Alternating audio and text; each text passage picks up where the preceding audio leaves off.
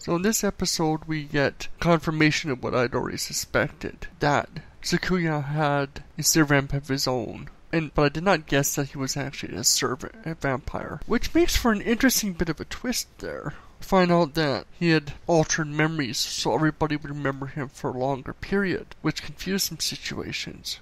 But also brings up the question of why did he do it? It seems, and it's sort of hinted at, that he liked the kids. He wanted to have a normal life for a while, and that's what he was hoping for.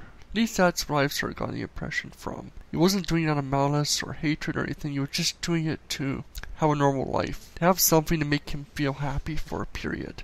Of course, someone that goes down the drain when he starts telling the main character about what he was, and that the vampire that attacked before was him. But he seemed to feel betrayed that the main character hadn't told him about vampires at the time. So I'm still curious as to where exactly it's going to end up right now. I kind of hope that they'll make up and they'll figure something out. We also get an interesting sequence where the main character gets a weapon you can use. Which is a brute, oddly enough, but kind of fitting the character. And you get this really creepy kind of sequence where he's in this sort of bizarre other dimensional thing within Kuro, where he's trying to get the weapon. And it's definitely creepy. You get this sort of puppet version of Kuro's cat form. kind of spooky, but I liked it. It was an interesting take.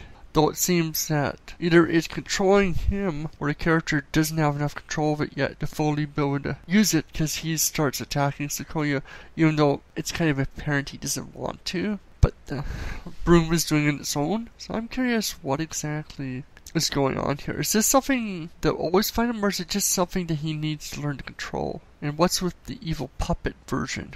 So what do you guys think? You guys enjoying this? Tell me what you think of the series. I think this is a pretty decent series so far.